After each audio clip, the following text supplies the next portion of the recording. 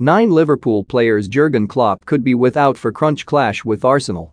Liverpool boss Jurgen Klopp could be without as many as nine players for Saturday's showdown against Arsenal at Anfield.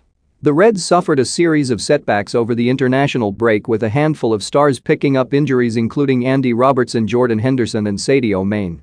While the Senegal international has since been cleared to face the Gunners, the number of Liverpool first-team members on the sidelines has almost reached double figures. Along with Henderson and Robertson, Klopp will also be missing Roberto Firmino, Naby Keita, James Milner, Joe Gomez, Curtis Jones and Harvey Elliott going into the weekend. Sadio is fine, painful but fine, Klopp revealed. We took him out a little bit earlier here and there, when we knew now it will be full contact, stuff like this, just to give it a bit more time to settle. But he looks fine.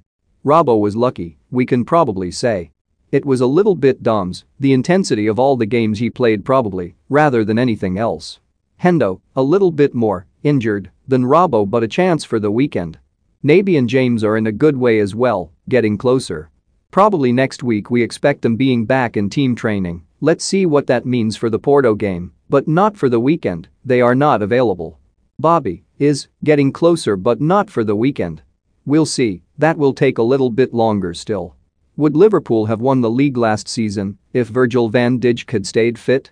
Let us know what you reckon in the comments section below. The team's current injury woes brings back memories of last season when Liverpool had long spells without the services of Henderson, Virgil van Dijk, Joe Gomez, Diogo Jota, Thiago, and Joel Matip.